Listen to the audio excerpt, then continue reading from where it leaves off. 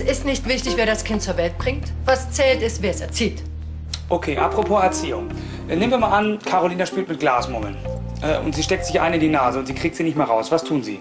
Also erstens, Glasmurmeln sind bei mir tabu. Genau aus dem Grund. Und zweitens, unter meiner Aufsicht wird nicht gespielt, sondern gelernt.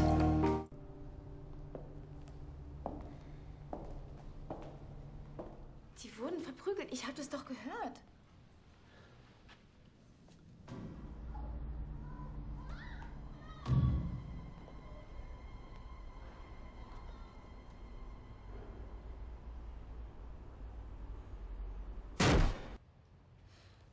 Ist mit Eileen?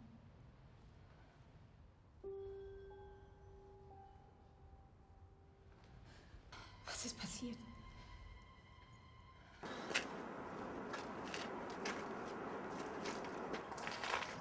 Ich war in meinem Wohnwagen mit Bettina.